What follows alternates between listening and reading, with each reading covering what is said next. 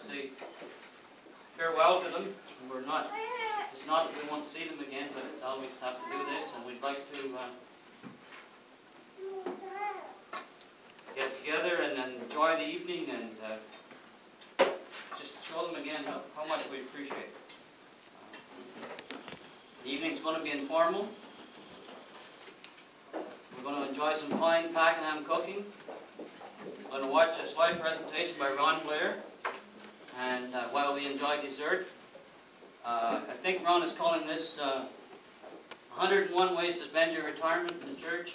101 projects, something like that. Uh, There was a lot of uh, discussion of whether this should be a roast or not. I was hope, I thought maybe it shouldn't be, but there's a lot of people with good memories here, and Tom's had the floor for quite a few years, and I think they want their turn, so. With, uh, with that, I would uh, ask uh, Tom if he would bless the meal, and then we'll start with the head table, and then we'll start from this side and go across. I'm sure there'll be food, Duncan, don't worry.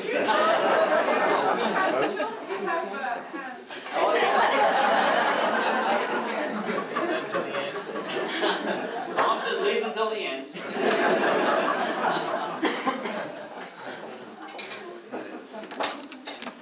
Well, that's offer thanks.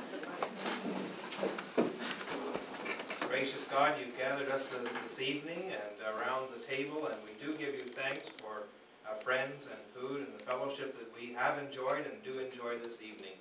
And we ask you to be with us tonight and in the days ahead, through Christ our Lord. Amen. Uh, Tom, I'd like you to come up here, please.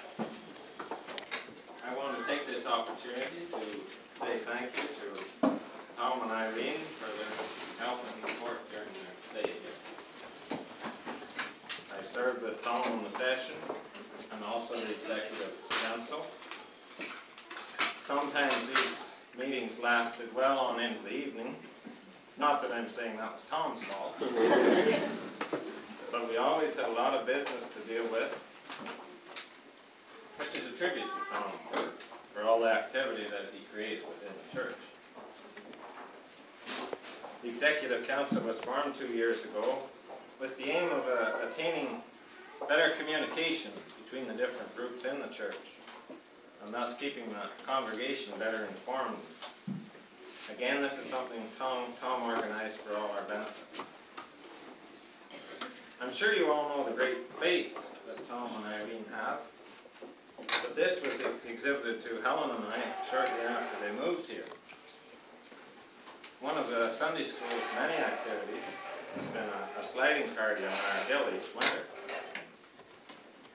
Now this, this hill is quite visible from the highway, so it was easy for Tom to check out the snow conditions uh, on the hill each Sunday when he came down from Cedar Hill. He could then report the great sliding conditions to the Sunday school at, at our service. Now, since this was the first sliding party, we were all anticipating a great success. The hill looked good until the actual day, when a mile spell left it quite green. Well, as I said, Tom and Irene have great faith, because they arrived that afternoon, the only ones that arrived that afternoon.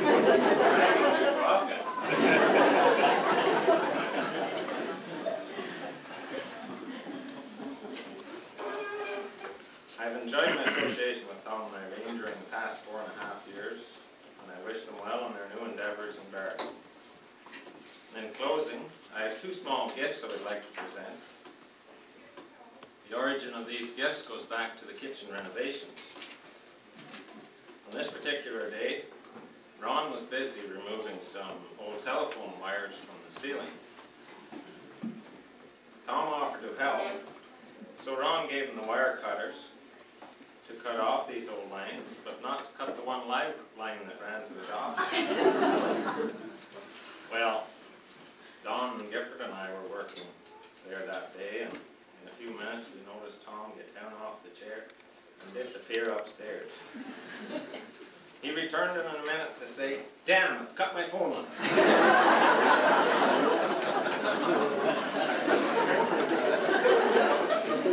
I'm sure Tom is going to help church, he will encounter situations where wires may need to be cut. So we've gotten him a set of wire cutters. Just in case a mistake might be made to go along with the wire cutters, we also have some connectors to make necessary repairs.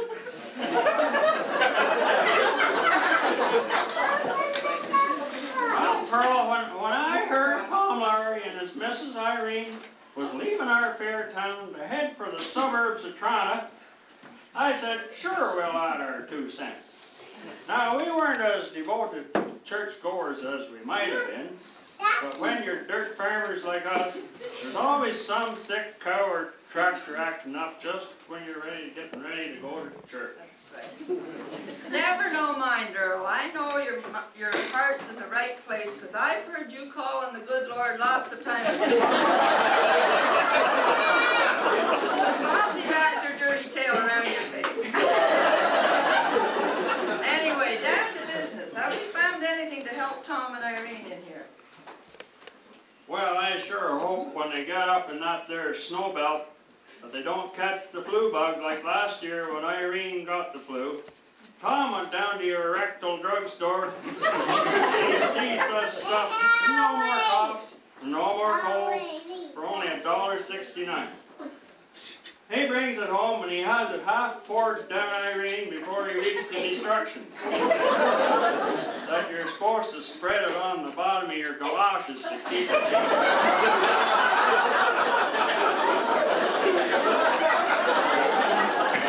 Well, that's terrible. Irene got a laugh back on him though in the summer when he was so excited signing roof tiles. Dropped one on his toe and he got infection. And the doctor gave him penicillin, but he was in a big rush to get to a presbytery meeting and he grabbed the bottle. And it was the bottle Irene uses for her sweet peas and he swallowed the equivalent of 200 pounds of sheep fertilizer.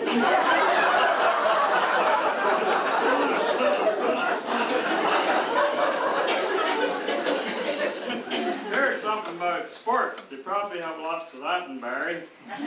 Says here lots of lots of sports are based on Bible quotations.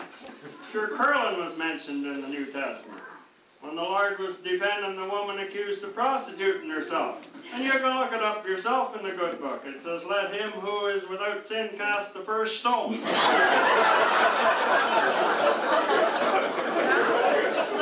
That's so.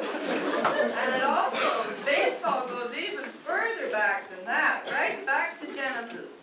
In the beginning, Eve stole first, Adam stole second, David struck out Goliath, the prodigal son ran for home, and Rachel went to the well with the pitcher.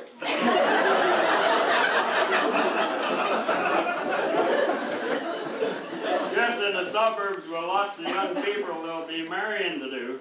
See here by the census results, divorce is one of your growth industries of the future. I mind when the only grounds for divorce was insanity. Pearl here, she, my wife and former sweetheart, she said it, it- it's still the chief grounds for getting married in the first place. According to the stats, two out of five ends up in your divorce court. Well, if the others read determined to fight it out to the bitter end. Well,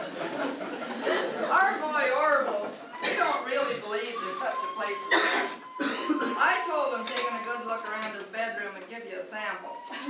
But he knows for certain there's no such thing as the devil. He's got it all figured out. Ever since he found out about the Tooth Fairy, your Easter Bunny, and Santa Claus, Orville says it's the same with the devil, it's just your old man.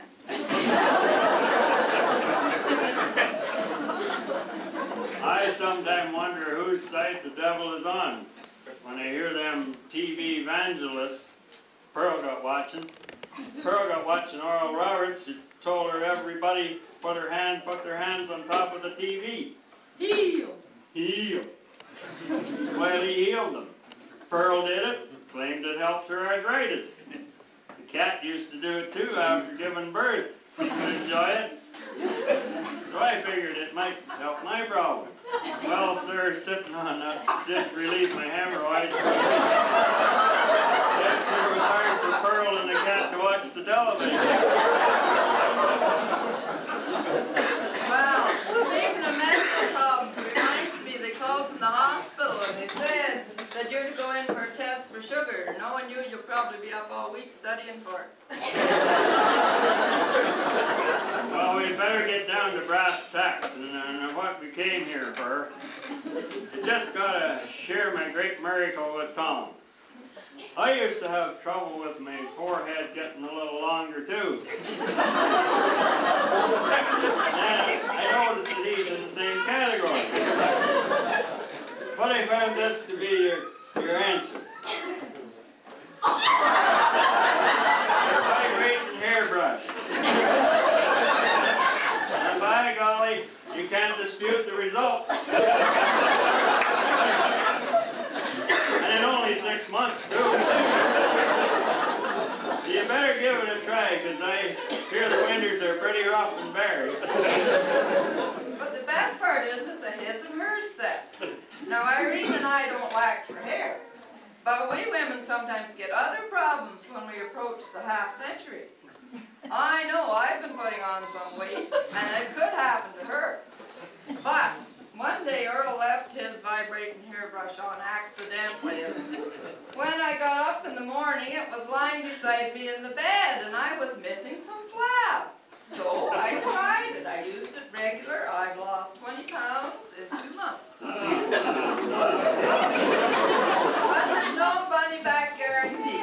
So it's yours to experiment with and uh, you can uh, look up our cousin Charlie. He's somewhere up in the same area as you, Parry Sound. So see, you can let him know if it works.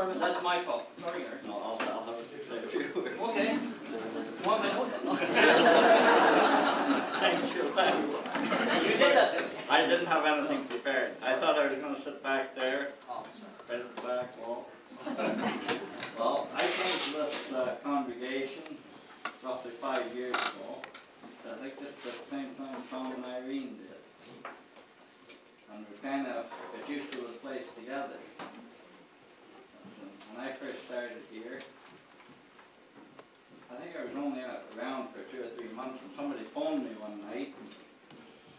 I'd like to be on the board of stewards. There's nothing to it, they meet a couple times a year. I use this story too. Anyway, that's how I, uh, became better acquainted with Tom and Irene, board of stewards. And over that time, over the four or five years, I've seen this church grow from a whole bunch of people at the uh, youngest age. The first day I into the church, the youngest age was seventy-five. I. But now there's a lot of younger people in the around. See some people younger than me even. But over that four and a half years, five years, we've seen a lot of changes in this place. And most of them have been due to Tom pushing and shoving and getting us motivated. And I think we've covered about three quarters of the things we set out to do. When I first talked to Tom five years ago, there's still a little bit, but I guess we'll have to do it on our own. Thank you, Tom.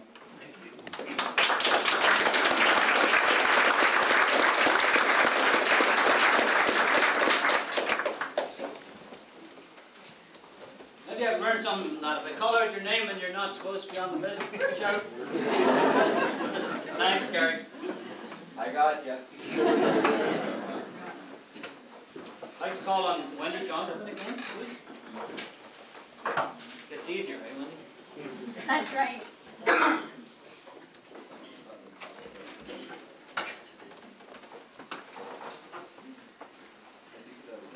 Well, I'm very informal here. I don't have a, a speech prepared. As Tom and Irene know, I'm sort of a, a person that does things better in the spur of the moment. Um, we moved here about five years ago, and I called Tom, who was the minister listed in the telephone book in August, to find out when Sunday school was. And that was where I made my mistake. Tom was out there the next day to introduce himself, and he said, Wendy, what are your talents? Now, I should have learned by now that when a minister asks you what your talents are, you pretend that you're dumb and you don't know a thing. But no, not me, eh? I never learned? So I was naming all the things. Well, I taught Sunday school, I sang in the choir, and I did this and that. And Tom says, oh, great.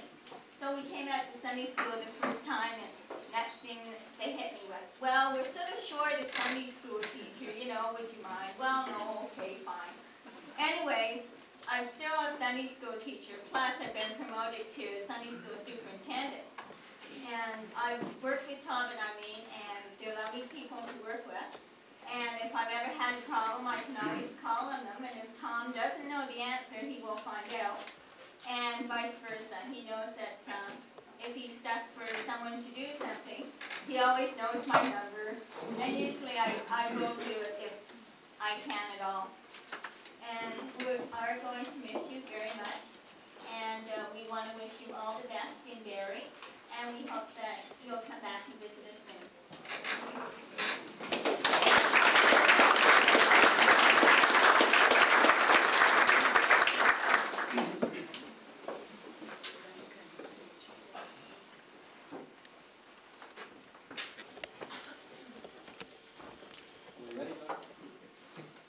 I'd like to call on uh, Duncan Abbott. Duncan asked me how long he should talk, and I said, well, keep it to five minutes or when they quit laughing, so I'm Um, I think probably Evelyn and I are the ones that uh, you'll have to be careful of tonight with your comments about Barrie, since she's from Barrie and I'm from Coldwater, just up the road. Uh, Barrie's sort of a suburb of Coldwater. The, um, Glenn had mentioned that this was going to be a roast, so I, I did put something down and, uh, as I understand it, roast, you don't always have to stick exactly with the truth, so there might be a small element of exaggeration in some of these points I'm going to make or stories I'm going to tell about Tom. But I think the thing that's interesting is the things you think are exaggerated are probably the truth. And uh, it's the filler that I probably added in. Tom, shortly after he arrived here, appeared in my driveway at the point that I had left council, got off another board or two that I was involved in, and promised Evelyn that I would never again volunteer for anything. Fifteen minutes later, I was president of the board of the Five Arches nonprofit housing Wendy, you don't have to volunteer for Tom to find you, and, and I've never been sorry. Um, well, once or twice. Some of the kinds of things, um, the, the talent that Tom has, the, the term I think I would use is one that lawyers like to talk about, uh, particularly some of the more urban ones, they refer to chutzpah. And this is a, a word, the, the best example I've heard of it is somebody with chutzpah is someone who would kill his parents and throw himself in the mercy of the court because he's an orphan. And Tom has a little chutzpah. Uh, my heading for the first example is the mud. When we began the project up here, there was, when they start a job like that, they dig out a lot of mud. There's a lot of material left over. And they started piling it up. And if you know the, the property up there, it was never sort of prime agricultural land. Uh, on a wet day, if you didn't walk carefully, you could slip and fall. It was just kind of blue clay. And Tom looked out and saw the township trucks running by one day, time after time with fill, and somebody said, oh yeah, they're giving away the extra mud at Five Arches. He immediately fired up to the site with a letter telling them that this was topsoil, and they weren't to remove any more of it because we were going to need all of it in the spring. Now, we did use a good portion of it in the spring, but then there was another great huge pile there, and the contractor said, well, now I can't give it away, you're going to have to pay me to remove it, at which point Tom said, no, no, I didn't tell you to leave the mud, I just told you to leave the topsoil.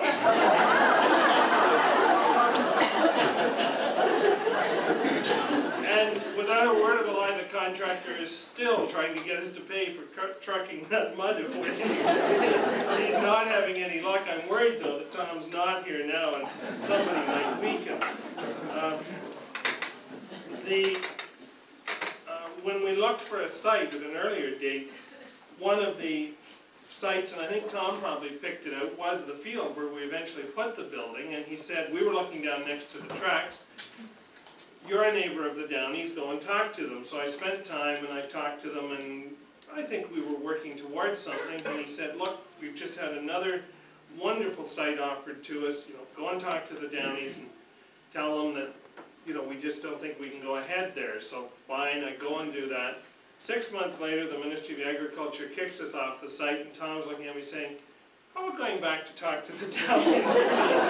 And I did it, uh, I'm not even sure they were surprised when I came in their driveway. The, um, another incident related to the building, at the very last minute, when the tenders had been put out and all that somebody at housing had to do was sign a piece of paper and we could start to build, they called Tom and said, you don't have enough people. We have approved you for forty people, which we only asked them for twenty-five, but they approved us for forty and the building was all ready to go on that basis and you'd better come down and tell us how you're going to fill the place. Tom phones me and said, we're going to Ottawa, I'll pick you up in half an hour. Away we went, we I'm still at a bit of a loss about this. He proceeded to explain that he had a marketing plan and no problem, it was all going to work out and kept me sitting there nodding away. He convinced me so we get ready to leave, and I say, this marketing plan, oh yeah, we'll have to work on that. Chutzpah, that's the word. Um, the, um, point is though, I think that that drive is what got the building there. And that ability to get people to do things that maybe they might have hesitated, much like Wendy refers to the becoming a Sunday school superintendent, it wasn't something she had in mind, but it's something that she enjoys doing. And Tom has inspired that and hasn't backed off on doing things himself. And I think uh, the situation with our approval from the Ministry of the Environment for the septic tank was the ultimate on that. The documents were submitted to an office in Kingston for six months when Tom, Tom started calling them fairly regularly, uh, more regularly than the fellow wanted to be called. So he finally said he would pull it out of the bottom of the pile and do it, and gave Tom a date that it would be done. Tom called him on that date.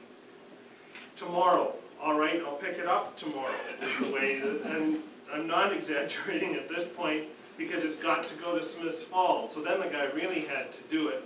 It went to another level of bureaucracy at Smiths Falls, and they said, all right, our meeting is next Thursday, and then we have to do a report. Well, Thursday afternoon, Tom phoned them, where's the report? Well, we're getting it typed. Well, when will it be typed? Tomorrow. I'll be there tomorrow, uh, which meant that somebody really had to go and do the work. That They'd made the mistake of saying tomorrow.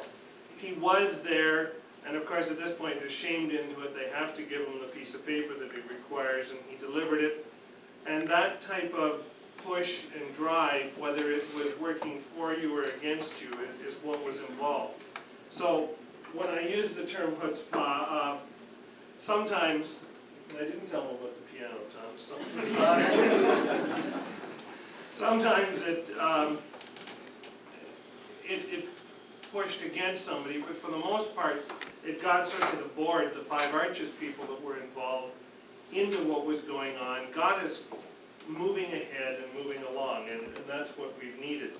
One other note I'd mention is that, um, my children have come through, particularly the three-year-old class with Irene. Actually, I believe Deborah taught Julie, and then Morley fell in love with Irene for a whole year, and I'm not sure whether we're gonna be able to talk Joey out of being driven to Barrie so that he can continue the family tradition next fall. From the Five Arches and from the Wheeler family, thank you very much for listening.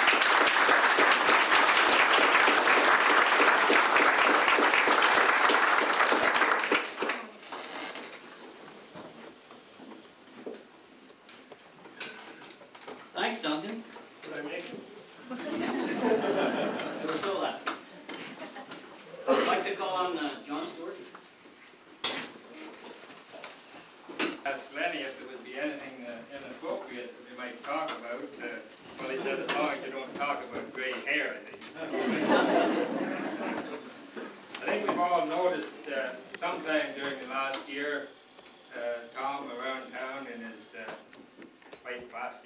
hard hat. Sometimes it was hard to tell whether he wasn't wearing the hat or. But when you got close enough, you could see five arches down. But we could just imagine Tom at the building site, at least I did, climbing up ladders, scaling the beams and walking up, up from the second and third story up there at Five Arches. Well, I thought that's what he might be doing, but it seems Tom is just a ground floor inspector. You've heard of white knuckle flyers, well, Tom's a white climber. In fact, he's scared skinny on that. And he had us fooled for quite a while.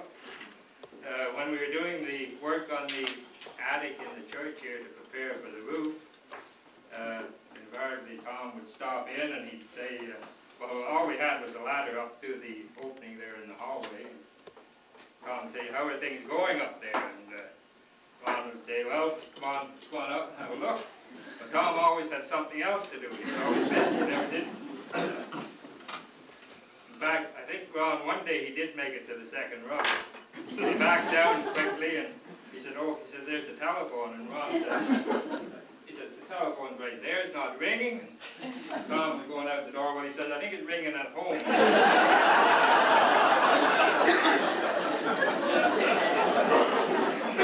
Anyhow, Tom, uh, you've told us you're going to Barrie to, uh, to a new congregation. And uh, we have no doubt whatsoever that in a short time you'll be in the construction business again, church, and be wearing a hard hat. So to prepare you for that, we have a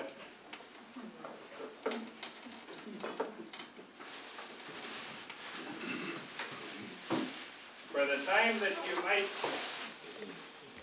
they might ask you to uh, uh, get up and put the last nail in the roof or place the steeple on the church, we want to do this little gift for you to practice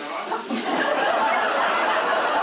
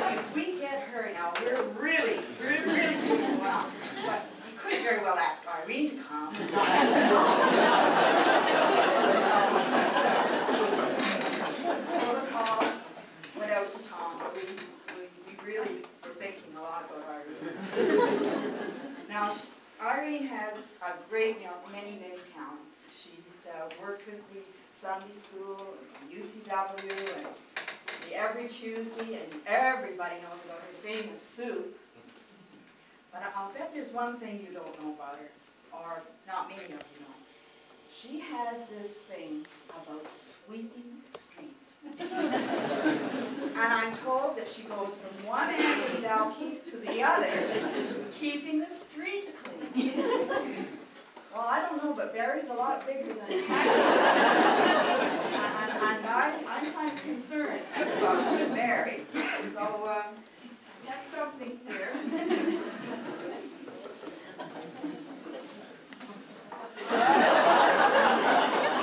Now, I, I know you're going to need a bigger broom, because you could have ten blocks you I just claimed one block. So this, this is sturdy bristles and we hope it, it job for you. Now, on the every Tuesday, Tom, of course, was a big help. He would come down to see if we had the coffee on. Irene, we should be using a bigger pot. We almost ran out last week, we need more coffee, put on the big pot. So he kept us in line about coffee. And then one day I saw him going over and checking the soup.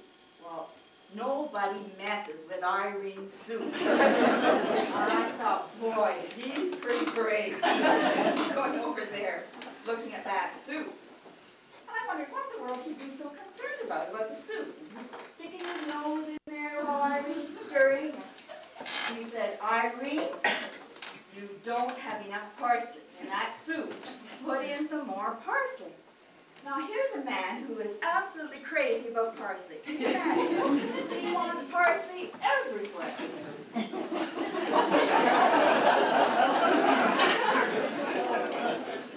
Have a, a little bit of parsley here, Tom.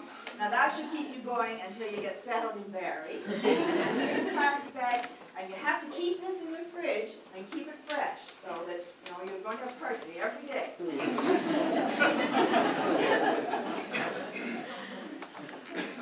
Well, it- it's been a real pleasure having Tom and Irene with us.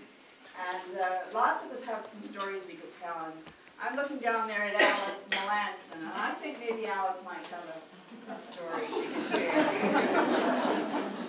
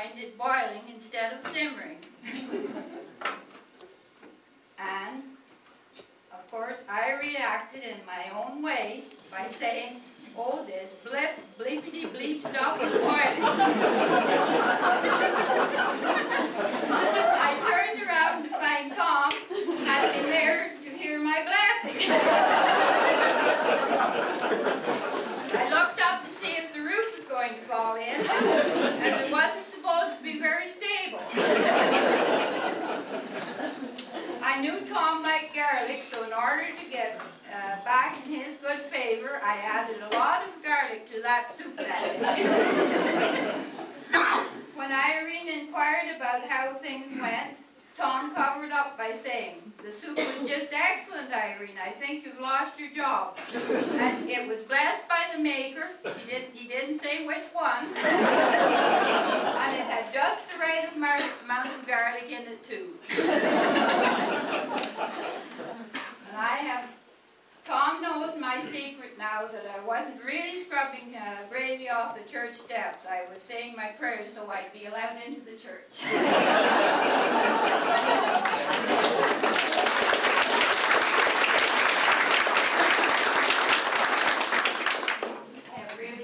their companionship, uh, we've had a lot of good times together, and I wish them the best in the new building and to get the new church built and have a wonderful time there and meet many new people. It'll be just as enjoyable as the ones in Pakenham.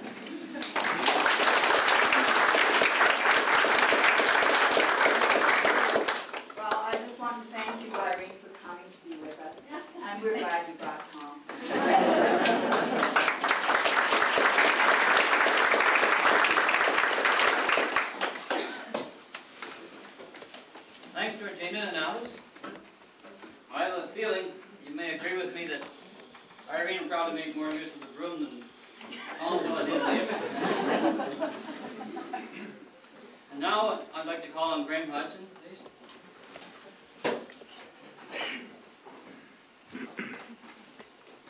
Thanks, uh, Chairman uh, Lamb and uh, distinguished head table, Tom and Irene. I have a few notes here just to keep you on track, my wife says I'm long-winded.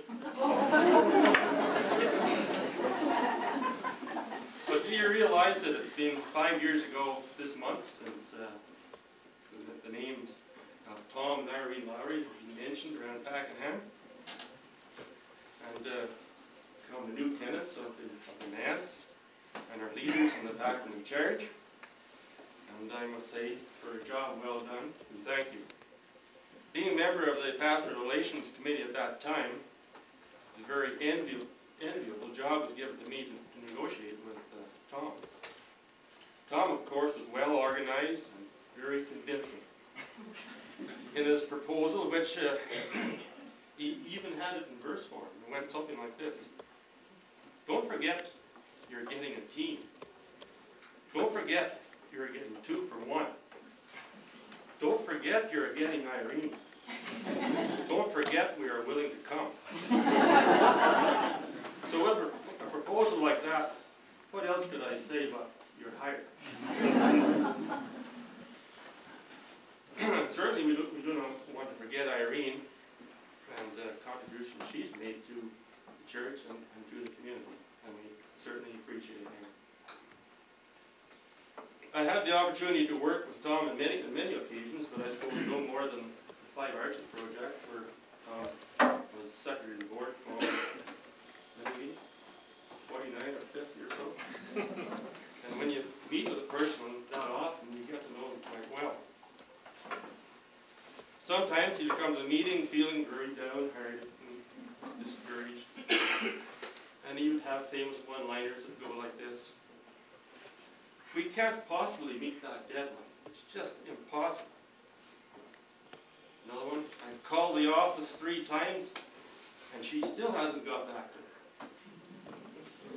Then the other times, Tom would, would take the offensive and become more aggressive, more like Tom. And he'd have other one-liners, like heck he will. You can almost see Tom in the warpath. Dead body. Very convincing. Maybe we should try the political route. Obviously, Mr. Mulroney has got to. And another one, one I really like, you know, when push comes to shove. This, uh, I suppose, not only best describes Tom, but even at Five Arches and in the churchyard, here, it took a lot of pushing and shoving to accomplish what we did accomplish in a relatively short time.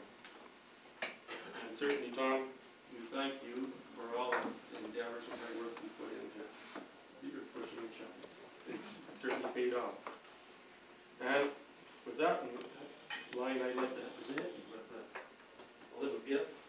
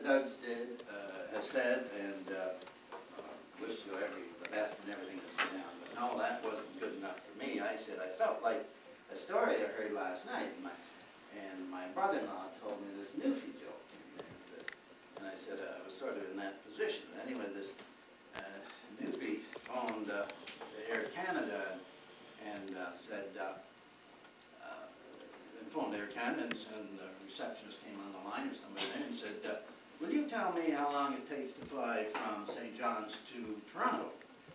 And she said, just a minute. And he hung up.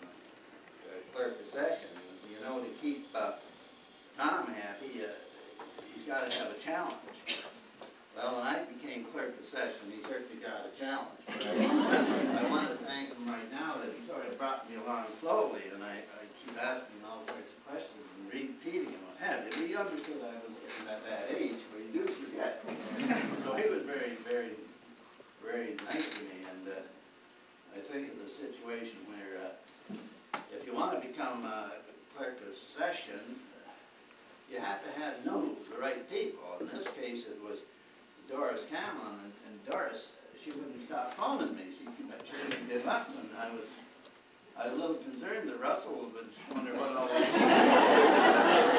So I, so I, I gave in. I said, I'll go. So when I got there, I said, I just keep my mouth shut. And I got that comfortable chair that's in the far corner. Those that are at some meetings, but so I got in the chair and I said, "I just sit back here and say nothing.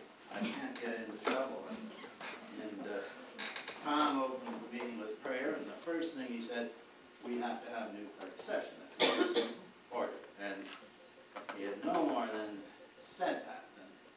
My friend John Stuart here, John said, uh, I nominate Don Gifford to be clerk session got the session out than Jack Miguel, he says, why, sure, I'll second that motion.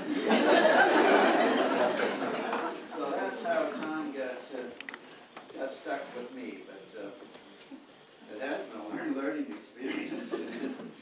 And, uh, Tom has been very, well, he's wonderful with me, and it made it easy, because he really did all the work. But I, oh, a couple of little things.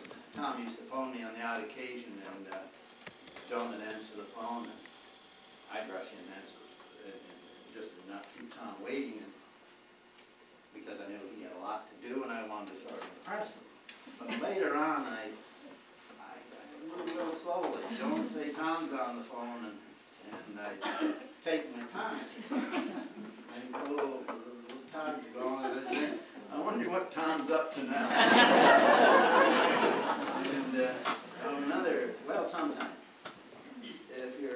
clerk of session, the simple thing is Doris Camlin and those others that have been uh, clerks of session, all you have to do is really take the minutes of the meeting. You just do that, you're all right, you don't get in trouble, but often I'd have to put in my two cents worth, and then's when I get into trouble. I'd probably say something I, second thought I shouldn't said, but I, I'd say something, and then I'd look at Tom. And sometimes Tom can be very serious, he'll look you right back, right straight in the eye, and he, uh, and he closes those lips, and he's not going to say anything. I said, I think he's going to leave me hanging here high and dry. It's not that, uh, well, it's like uh, President Bush, he, uh, he, his platform, I think, he was not going to raise the taxes, and so this fall, he, he said, uh, well, just read my lips, you know. And so I, A lip or a muscle or a hair or anything. And I said, he's not gonna help me out, but I really felt that he really wanted to help me out, but before he goes to those meetings, I think Irene says, now, Tom, you go to those meetings, now don't get your blood pressure up, and for heaven's sake, don't say anything you shouldn't say. He really wanted to help me. And on another occasion, uh, oh, we had a great uh, session, we were discussing something down at the mansion, sort of uh, jokingly, well, half joking. I said to Irene, "Uh, what are we gonna do with Tom anyway? And you know what her answer was? She says, I don't know.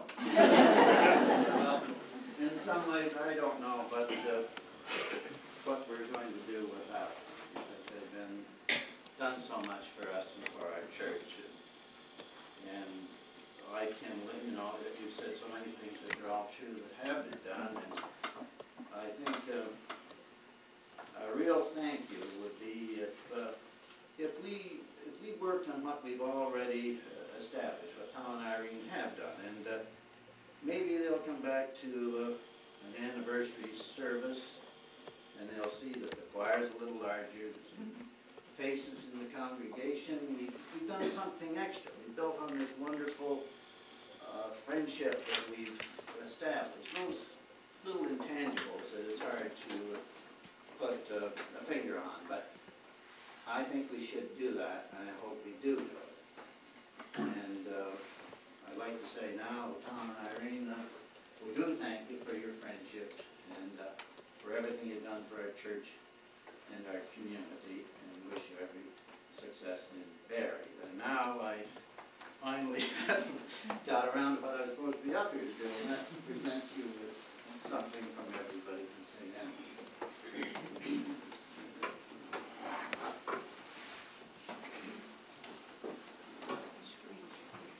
We didn't practice this. No, no. That's okay, just like this month.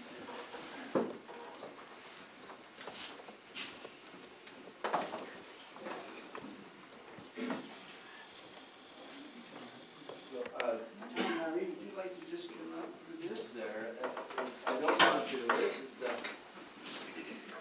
this Tiffany lamp and, uh, this mirror, and this was done by Harry McDonald, who did our windows, so that would mean a little, maybe a little extra.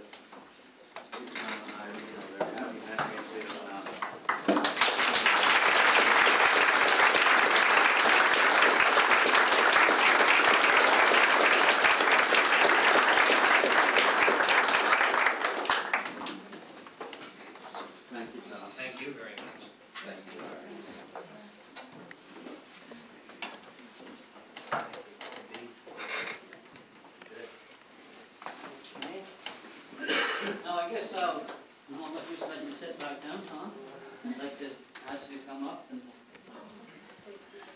Your turn. You get front and center, and Irene, if you'd like to join. Tell me this part, did you? Left me hanging like Gary. I knew you'd want to join. All right, I'll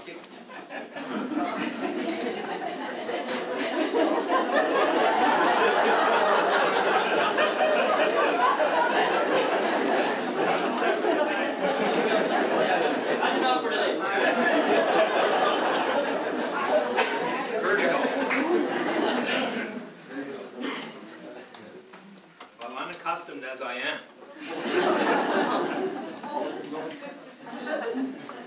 You have notes. Well, this is a wonderful uh, turnout and occasion for a a farewell. We certainly are enjoying ourselves thoroughly to be here this evening and to be sharing with you all, but I, I guess it's always a, a privilege uh, to be able to speak at the end to correct some of the, you know, misinformation that has been disseminated here from, from the beginning. And, uh, you know, I, I, I noticed that, that three, three people, uh, in particular, uh, Gary Smeltzer, Lynn, and uh, I want you to know their names for the record, Duncan, and Duncan Abbott and, and Wendy Jonkman, all said that, you know, I was no sooner here in, in, in Pakenham than I was out at their place, knocking on their door in the first week, asking them to take on a job or two around the church. Now, didn't they say that? And we all know that ministers don't visit. So you know how true that can be.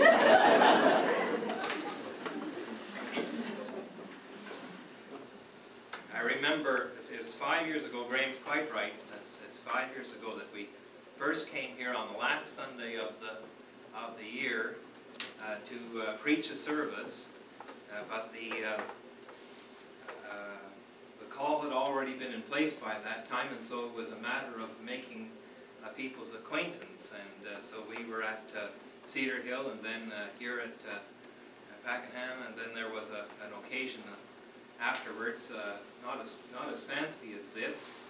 Uh, But had I known, uh, Graham, you know, of all of the things that we were going to get in- involved with, I'd have asked for that shovel five years ago. And, and to tell you further, Mr. Chairman, about the exaggeration that, that went on, I want to tell you about the uh, Pastoral Relations Committee that came down uh, to Williamsburg to, to visit us from, from Pakenham. Because Irene and I remember them, them well. There was Graham Hudson, and he was the chair, and he was, uh, he, we've been in contact with him. Uh, Very briefly, we went up and uh, Vern opened the church uh, door uh, for us and showed us around the manse one day, and, uh, and uh, then we, we've been, been in further contact with the, the charge, and, uh, and on this particular Sunday, we were, now this is both confession and, and gospel. We were expecting a delegation from the Hawkesbury United Church to arrive at the morning worship in Williamsburg, and Irene had prepared a lunch, a, di- a delicious luncheon for, for this expected group from Hawkesbury, who were looking for a minister.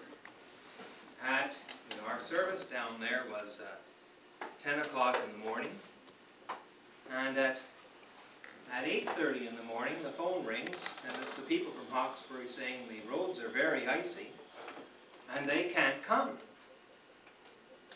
So I said to Irene, just stick that luncheon in the freezer, because I said, it'll have to keep, who knows when they'll get back down now, the weather's turned foul. But who arrives in unexpectedly in the church service but Graham Hudson and, and, and Georgina Blair, Don Gifford was playing hooky as usual. he wasn't there. He was supposed to be there, but he wasn't there.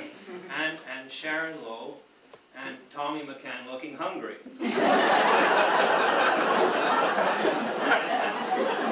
Plus a couple more from Cedar Hill. So as soon as we realized that, you know, this is a country church and everybody knows everybody else, and I said, I don't know who these people are. Uh, we haven't met them, but I said, uh, you know, the, the only place they can be is from Pakenham. Uh, because that's the only other church that we've been in touch with, so I said, get out the lunch. Don't tell them that it was for Hawkesbury.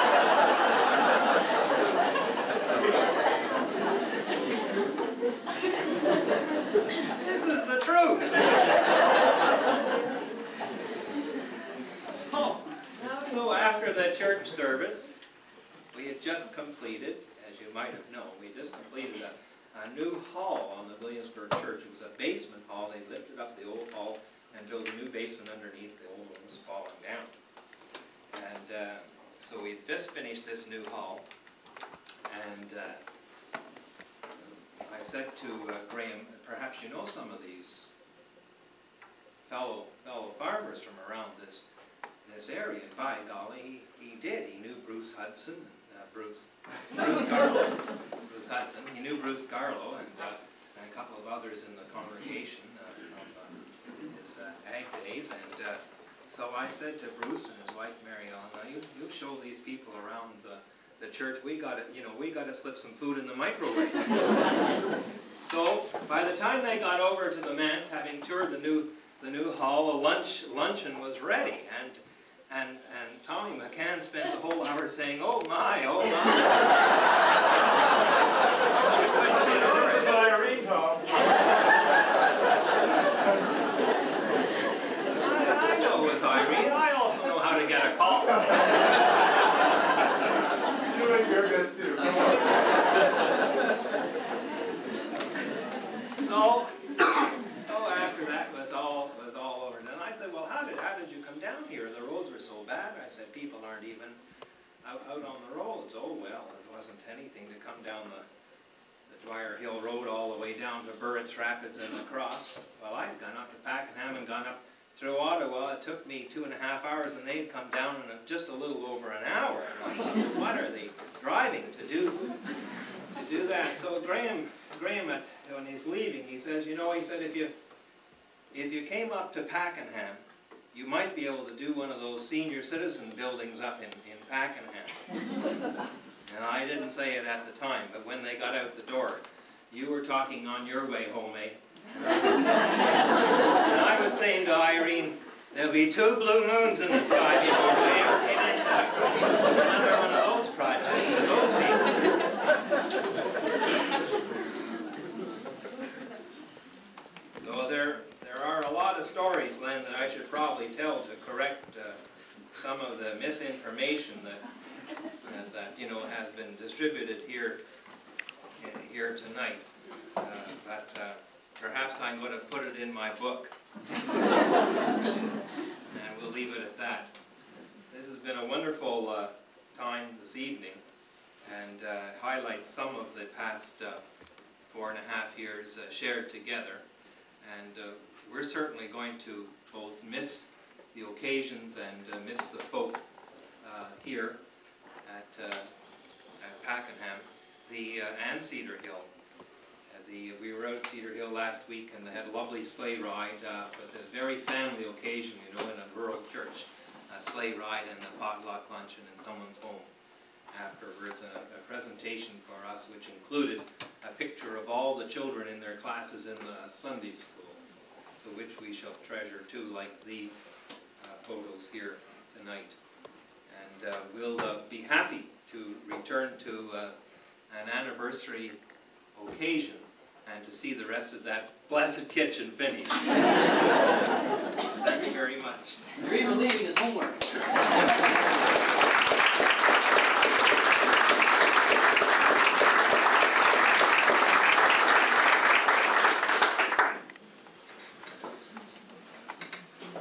Well, that very nearly concludes our evening. I've, one thing that Don's already been up, I didn't dare say this before he, uh, he was up, but, uh, he said to me,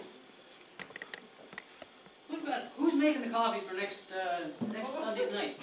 And I said, I think we discussed that at the last meeting. Who's doing the minutes? He said, I am. So he's waiting for the minutes to see who's doing the, uh, the coffee next Sunday night anyway. If anybody can help him out. I checked with Mary, she doesn't know. Maybe I was at a different meeting. We'll get it done. Okay, and I'd just like to thank everyone that, uh, for coming out, and I'd also like to thank everyone that brought food and shared with us, and, uh, I just, in closing, I'd particularly like to say to Tom and Irene, and to Deborah and David, this is an appreciation night, it's not goodbye. I think I could say on behalf of everyone, come back and see us as often as you can, we'll be glad to see you anytime.